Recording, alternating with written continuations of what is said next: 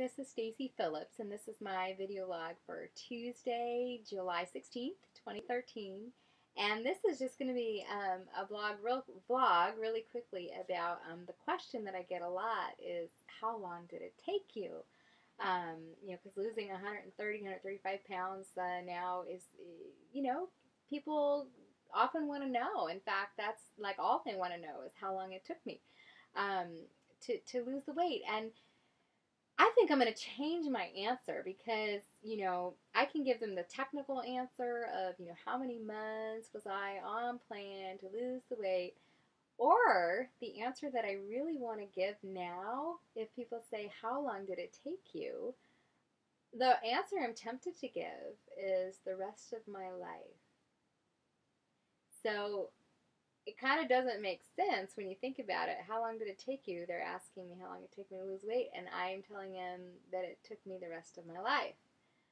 Because I really strongly believe um, in coming through this process that the answer to that question cannot be found in just a number of months.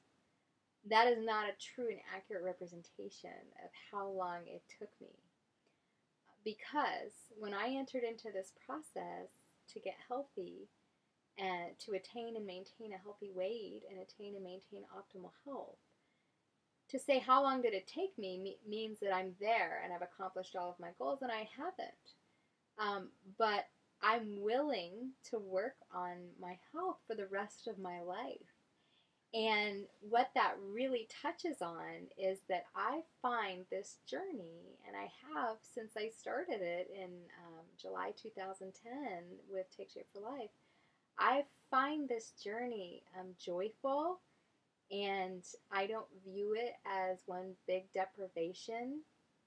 Um, and really, what people generally want to know when they ask that question is, how long is that going to take me? You know, like how how long am I going to have? You know, they're thinking in terms of themselves, trying to compare. Like, okay, this is how much I want to lose. Well, how how many months am I going to have to deny myself what I want to eat?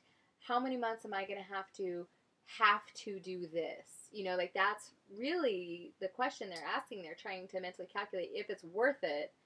If you know they could duplicate what I did could they, you know, hold on? Could they hold their breath for that many months? And I really don't want to justify that with a month long answer um, because that's not the focus. Like, it's going to take me the rest of my life to continue to um, maintain my optimal health and even move into ultra health.